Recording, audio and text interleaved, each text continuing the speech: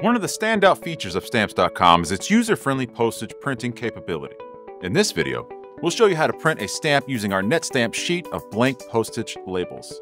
If you don't have a sheet available, you can also print directly onto an envelope, which you can learn about in our printing envelopes video. We begin by logging into Stamps.com. Once there, select the Mail tab. In the Print On drop-down, select NetStamps Sheets.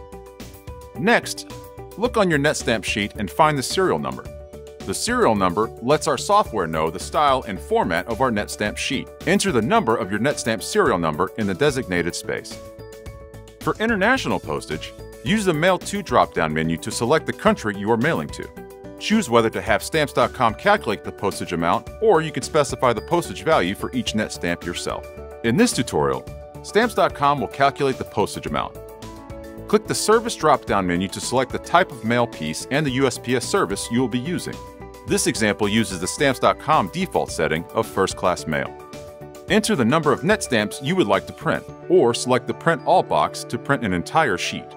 Most people choose to print an entire sheet for added convenience. You can enter a reference number and select a cost code to track postal expenses. Now is the time to place your blank NetStamp sheet in your printer. Original NetStamp sheets are symmetrical. They can be loaded from either direction. But you must determine which side of the paper your printer prints on, the top or the bottom. This is easy to figure out. All modern printers have an icon which show which side of the paper is printed on. If for any reason you are not sure which side your printer prints on, we suggest selecting Print Sample. This will print on plain paper. When you are comfortable with your print, load your blank NetStamp sheet and return to Stamps.com. Select Print Stamps to begin the printing process. Congratulations! You have just printed your own postage stamps with Stamps.com. If your NetStamps fail to print properly for any reason, you can quickly and easily reprint them without any extra charge. Just click the reprint button, which becomes visible after every print. But wait, there's more. Until now, you have been able to print NetStamps one sheet at a time. Now you can print on as many NetStamp sheets as you want, saving you the time of running multiple print jobs and giving you the convenience of being able to stock the right amount of NetStamps for your operation. Let's take a look at how easy it is to take advantage of this new capability. Begin as you normally would, on the Mail tab inside your Stamps.com account. From there, you set up to print stamps the way you normally would. In the Print On drop-down menu, select NetStamps. Then enter the serial number on the top right corner of your NetStamp sheet in the field below.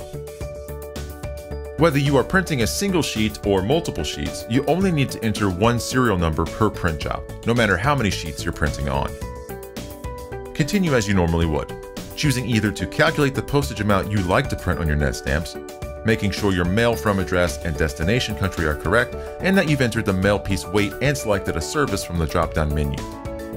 Or you can also simply specify the number of first-class mail stamps you want to print. From this point, you are now able to use the multi-page feature to print up to 25 stamps on each sheet. If you indicate more stamps than the first sheet can accommodate, the number of sheets needed will be displayed below the preview. You can still use a first sheet that has some stamps printed already.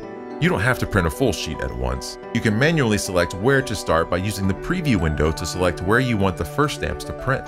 Note that this only applies to the first sheet in the job. Be sure to load the appropriate number of sheets in the printer to complete the job, putting the partial sheet on top, if that applies. You can enter a cost code as well to track your postage expenses here.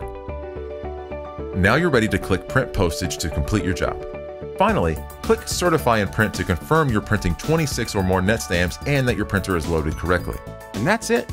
Thank you for using Stamps.com, the simple way to send.